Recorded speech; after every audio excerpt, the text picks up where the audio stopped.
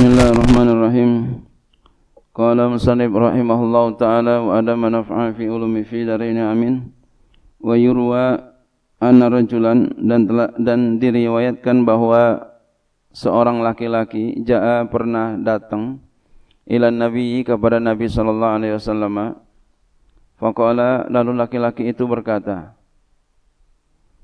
Alimni min ghara'ibil ilmi, ajarkan aku ya Rasulullah daripada ilmu-ilmu yang yang aneh, yang asing, yang orang kagak punya.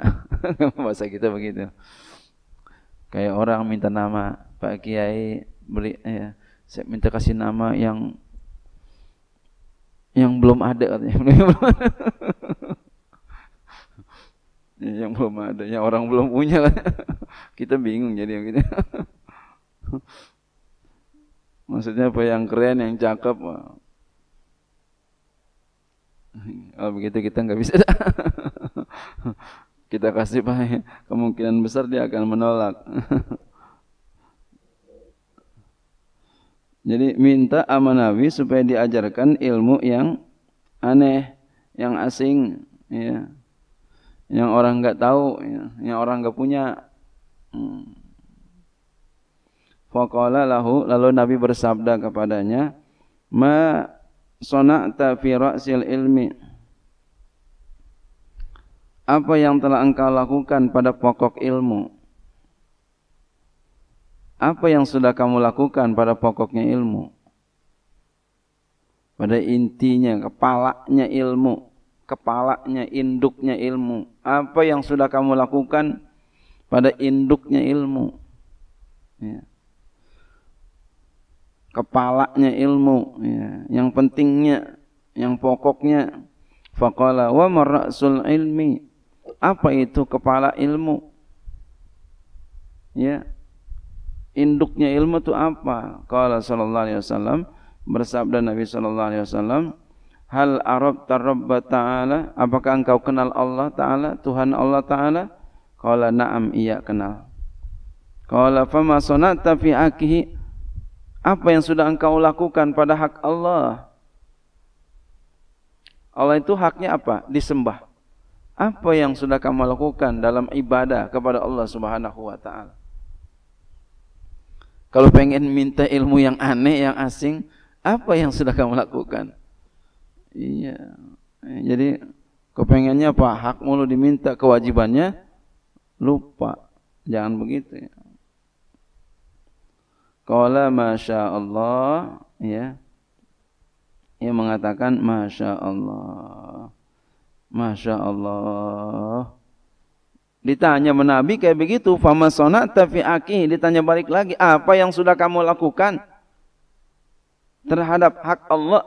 Masya Allah. Iya ya. Masa kita gitu ya. iya ya. Minta mau banyak. Tapi gaji mau banyak kerja apa ya. Faqala sallallahu alaihi wasallam lalu Nabi sallallahu alaihi wasallam bersabda, "Hal arabtal mauta?" Nabi bersabda lagi, "Apakah engkau kenal mati?" Qala na'am iya. Kenal. Qala fama a'dadta lahu apa yang sudah kau siapkan untuk mati? Jadi Nabi tanya tuh mati. Apa yang kau siapkan untuk mati? Apa yang sudah kamu siapkan untuk mati? Kamu minta ilmu yang aneh? Apa yang sudah kamu lakukan? Eh, apa yang sudah kamu lakukan terhadap ya, ibadah kepada Allah Subhanahu wa taala? Apa yang sudah eh, apa yang kamu persiapkan untuk kematian? Apa persiapan kamu? Ya, pengen minta ilmu yang aneh, pengen minta ilmu yang orang kagak punya, yang gorib-gorib. Qala Masya Allah. Jadi dua kali jawaban Masya Allah. Masya Allah. Iya ya. Qala sallallahu alaihi wasallam. Bersabda Rasulullah sallallahu alaihi wasallam, "Izhab fa'ah ahkim ma hunaka summa ta'ala nu'allimuka min garaibil ilmi. Kata Rasul pergi kamu pergi kamu. Fa ahkim ma hunaka kokohkan olehmu apa yang ada di sana. Apa tuh? Ibadah kepada Allah sembah Allah. Kokohkan ibadahmu kepada Allah kokohkan tuh. Hak Allah kokohkan hak Allah. Hak Allah apa? Diibadatin yang kedua apa? Persiapan mati. Kokohkan persiapan mati kamu itu. Summa ta'ala kemudian setelah itu kemarin dah siap ke sini. Nu'allimuka min qaraibil ilmi. Kami bahasa nabi bahasanya kami. Bukan saya. Saya kami nabi ngomongnya. Iya. Memang kalau kata-kata saya dengan kata-kata kami ya, untuk ya tidak banyak mengandung ria itu kami. Baik di telinga kita ya maupun di telinga eh, di telinga kita yang ngomong ataupun di telinga orang yang dengar. Itu lebih uh, lebih nyaman ya, dari sifat ria. Tapi Nabi enggak ada sifat ria, insya Allah ya, uh, beliau enggak ada sifat ria, sudah dicabut. Ya. Sifat sifat buruk Nabi itu sudah dicabut. Ini ada dua, walaupun ada dua pendapat ya, ada dua pendapat. Ya, yang, yang cerita kisah Isra Mi'raj itu ya. Ya, yang da dari masa kecil Nabi itu dari hmm, jauh. Ada yang mengatakan Nabi sudah bersih memang, ada yang mengatakan cabut. Ada dua pendapat. Nah, kita enggak bicara itu. Hmm.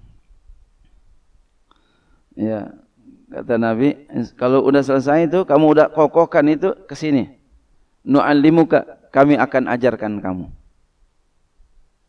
Min garaibil ilmi, daripada ilmu-ilmu yang garib. Artinya apa ini pelajaran buat kita? Kalau kita pengen dapat ilmu yang garib, apa? Ya, siapkan diri kita untuk menghadapi kematian dan sembah Allah sebenar-benarnya menyembah. Insya Allah nanti akan diberikan ilmu yang gorib, ilmu laduni.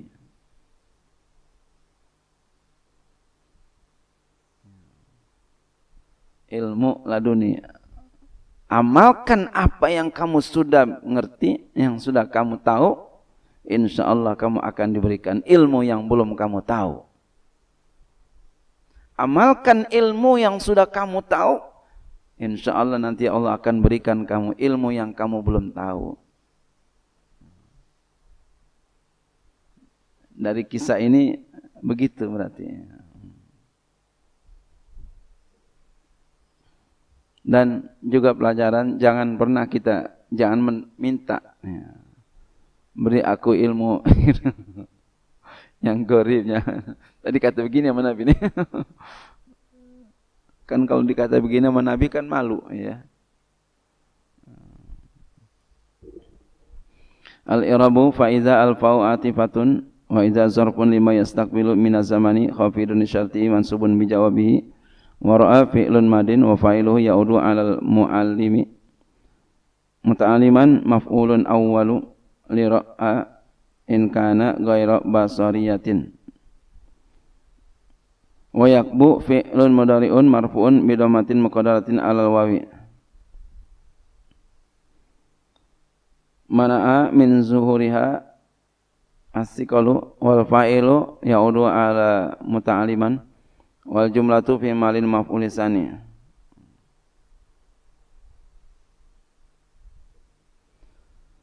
wa makna yakbu yaskutu ala wajhi. Ya, jatuh atas wajahnya. Kalau bahasa kita nyungsep yuqalu kaba li wajhi saqata kaza fil mukhtari wal muradu bihi huna yarghabu wa yastarsilu fiha. Gemar ya, melepaskan ia padanya. Orang kalau gemar ya ya semuanya dikerahin semuanya wa ala syahawati muta'alliqun bihi wa mutabi'an halun min fa'ili yakbu wa hawahu maf'uluhu wa mu'amalan bidamil mimi ula wa saniyati mansubun bi isqatil khafidi ay fil mu'amalati. Wa uzifat minhu ta'u li darurati wa yatamilu ayyakuna bi kasri mim saniyati ala annahu ismu fa'ilin wa maf'ul mahzufun ay mu'amilan iyahu ay hawahu jadi ada baca mu'amalan mu'amilan. Wa alai yakunu halan saniyatan. Ya. jadi hal irobnya kalau mu'amilan. Zukirat ba'dal ula li ta'kidi. Hal yang kedua ya. mutakaliban halun salisatun. Hal yang ketiga alal ihtimal lisani fil fi muamilan. Ihtimal kedua bacanya muamilan. Wa alal ihtimalil awali halun saniyatun aidan maf'ulun mutlakun. Ala raumi muta'alikun bi mutakaliban wa duna lugatun fid dunya. Mudafun ilaihi wa min ghairi muta'alikun bi raumi. Wa min ajin mudafun ilaihi wa, mi, wa mubahin sifatun lahu. Wa fa'ilan halun rabi'atun min fa'ili yakmu in kana mutakaliban halan saniyatan kurang alif ya Au qata'ata maf'ul ma'tubun ala yakbu fayakunu labzu ra'a musallitan alaihi. Alima maf, ya, ilma maf'ulu ta'ata wa huwa mudafun li fardi. Wa huwa mudafun li kifayatin. Wa min qabli mutalikun bi ta'ata wa huwa mudafun li fardi. Yes, ini gampang yang usah diterjemah ya. Wa huwa mudafun lil aini wa ilman halun min fardil aini wabtila ya ini bacanya wabtila nih ya. Ma'tufun ala ilman kan diatupkan atas ilman masdar. Bukan kemarin wabtala bukan wabtala barisnya wabtala dikasih barisnya wabtila biasanya kalau atop itu sama ya kalau masdar masdar. Kalau fi'il fi'il gitu. Wa ma'nahu al ikhtibaru maknanya ikhtibar wal muradu al ikhtibaru bihi ya bima itibaru bima alimahu ail amala bihi. Jadi maksudnya amal. Jadi min qablil uh, au qad ta'ata ilmal fardi kifayatin min qabli fardil aini ilman wa betila atau sungguh dia telah atau sungguh dia melakukan ilmu fardu kifayah daripada sebelum fardu ain. Baik ilmunya maupun amalnya. Jadi cari ilmunya itu ya amal-amalnya dia dahulukan fardu kifayah dulu. Daripada fardu ain itu tanda di antara tanda dia menuntut ilmunya bukan karena Allah. Jadi kalau begitu baik cari ilmunya maupun mengamalkan ilmunya itu ya mesti yang fardu ain dulu gitu. Baru yang fardu kifayah. Falakad alfa'u waqi'atun fi jawabi iza walamu muti'atun lil qasami lil kismi. Eh? Walamu muti'atun lil qasami. Ya. Muti'atun lil qasami, qasam. Sumpah. Waqad harfu tahqiqin wa tabayyana fi'lun madin min qara'ini muta'alliqun bihi wa iya mudafun wa halihi mudafun ilaihi wal idafatu lil bayani ay qara'ini hiya haluhu mazkuratu min kaunihi mukibban ala syahawati ila akhirih qasdun fa'ilu tabayana li ghairillahi muta'alliqun bi qasdun fihi muta'alliqun bima ba'dahu wa tagalgala fi'lun madin wa ma'nahu dakhala wa fa'iluhu dhamirun ya'udu 'alal muta'allimi wal jumlatu sifatun li qasdun rabitu dhamirun fihi robit robit ini maksudnya yang menjadi penyambung yang mengikat ya. Jadi dalam bacaan kitab itu harus ada saling mengikat terus tuh. Domir-domir yang marjiknya tersebut ya jadi kalau baca kitab itu nanti kalau ada titik baru putus ya jadi mengikat terus kok domir oh kayak kita membangun ya, orang tukang bangunan bangun rumah tuh ngikat terus tuh ini apa besi ngikat ngikat semua nih Ini ngikat semua. Baca kitab pun begitu. Ngikat semua tuh. Ini perhatiin kalau kita baca kitab. Domir-domirnya tuh.